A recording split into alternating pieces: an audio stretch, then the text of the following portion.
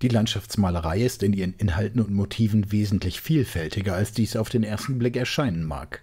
Zunächst einmal verbinden wir mit dem Begriff Landschaftsgemälde motivisch einen Ausblick in jahres- und tageszeitlich geprägte Weiten, oft mit Tälern, Flüssen, Bäumen, manchmal mit menschlichen Siedlungsspuren als Panorama oder als Bildausschnitt in klassischer Maltradition oder modern. Sehr früh entwickeln sich aber auch speziellere Motive, Ansichten von Siedlungen, Dörfern oder Städten und ihren jeweiligen baulichen und geografischen Besonderheiten, mal mehr, mal weniger detailliert und korrekt. Diese Stadtpanoramen sollen einerseits einen informierenden Eindruck des jeweiligen Ortes und seiner unmittelbaren Umgebung vermitteln, andererseits auch bedeutende historische oder religiöse Momente oder aber besondere Feierlichkeiten wie Prozessionen oder Krönungen verewigen. Werke wie Matthäus Mirians Topographia Germaniae, die sehr detailliert mehr als 2000 Ansichten von bemerkenswerten Städten, Klöstern und Burgen des Heiligen Römischen Reiches dokumentieren, gelten bis heute als bedeutende Werke der geografischen Illustration. Sie ermöglichten in Zeiten expandierenden Handels und wachsender Verwaltungen einen Überblick über das Land und seine Siedlungen. Waren diese Karten- und Panoramasammlungen zunächst vor allem dokumentarischer und historischer Natur, so veränderte sich dies alsbald. In Flandern malten Künstler wie Paul Brill bereits im 16. Jahrhundert eindrucksvolle Stadtimpressionen. Im 17. Jahrhundert spezialisierten sich dann insbesondere die niederländischen Maler auf detailgetreue und genau erkennbare Stadt- und Landschaftsbilder, die den Lokalstolz des wohlhabenden niederländischen Bürgertums ansprachen. Ein typisches Beispiel hierfür ist Johannes Vermeers bemerkenswerte Ansicht von Delft.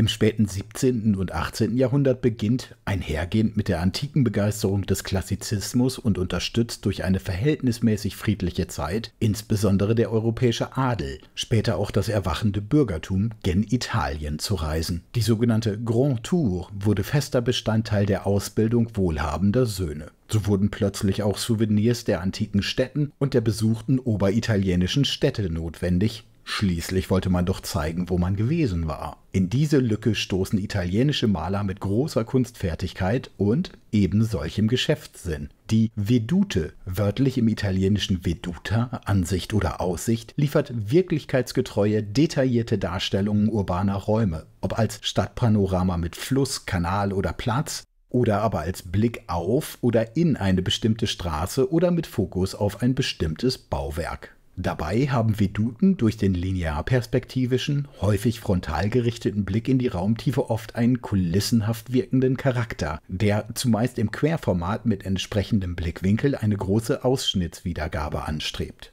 Die menschlichen Figuren sind oftmals nur Staffage, dienen der Belebung der in der Anlage eher statischen Komposition. Gelegentlich werden indes auch fantasievolle Elemente eingeführt, um die empfundene Schönheit oder den besonderen Charakter eines Ortes zu betonen oder zu überhöhen. Auf diese Weise wird die Vedutenmalerei besonders in der italienischen Kunst des 18. Jahrhunderts als autonome Gemäldegattung gepflegt. Prominentes Beispiel für die Vedutenmalerei ist die Arbeit des venezianischen Künstlers Giovanni Antonio Canal, genannt Canaletto. Er war bekannt für seine präzisen Darstellungen von Venedig, insbesondere für seine Panoramablicke auf die Kanäle, Plätze und Gebäude der Stadt. Diese bestechen durch ihre fast fotorealistisch genaue und detailreiche Darstellung, zu deren Herstellung er als technisches Hilfsmittel eine Kamera obscura einsetzte. Seine Veduten vermitteln so nicht nur eine überzeugende, beinahe dokumentarische Darstellung der Architektur, sondern sind darüber hinaus auch geprägt von einer lichten Atmosphäre und freundlich positiven Stimmung der gezeigten Orte. Ein weiteres Beispiel ist Bernardo Bellotto, Neffe und Schüler Canalettos, der ebenfalls auf seinen Reisen Veduten von verschiedenen europäischen Städten, darunter Dresden, Wien oder Warschau schuf. Dabei bediente er sich ebenfalls, hier zeigt sich abermals sein ausgeprägter Geschäftssinn, des renommierten Künstlernamens Canaletto. Seine Werke zeigen oft eine Mischung aus Genauigkeit und künstlerischer Interpretation.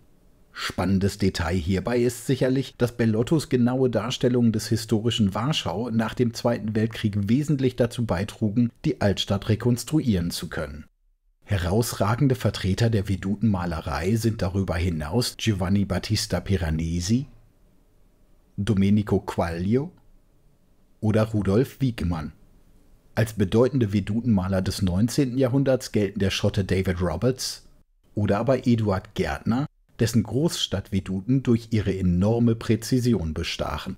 Spätestens mit der Entwicklung zuverlässiger fotografischer Verfahren und deren Massentauglichkeit wurde die Funktion der Vedute von Fotografie und Ansichtskarte übernommen. Aber bereits zuvor wollte die Vedute bei allem dokumentarischen Charakter als Memorabilia auch als Bild an sich, als Gemälde, Kunstwerk über die reine Funktion hinaus wahrgenommen werden. Vielleicht deshalb finden sich auch heute noch insbesondere an den touristischen Hotspots der europäischen Großstädte, zahllose Künstler, die den Besuchern gerne eine ganz besondere, eine gemalte Erinnerung mit auf den Weg geben wollen.